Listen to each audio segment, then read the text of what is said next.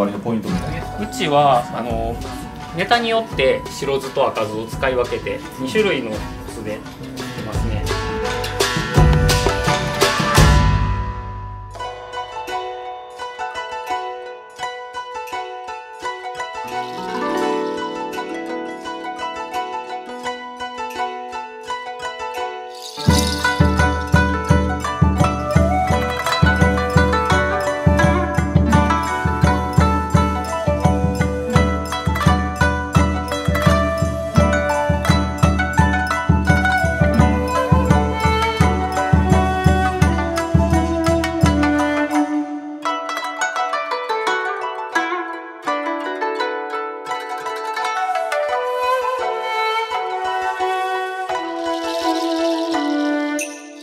油のりが少なくてちょっと味が足らないなと思ったら足してあげてシャリに合わせるように持っていくっていうのが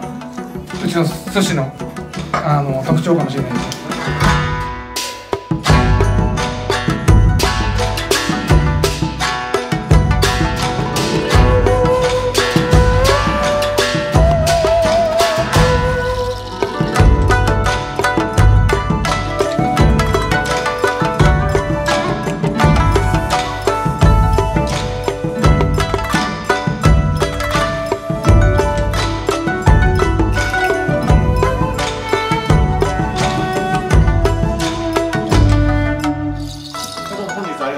あ。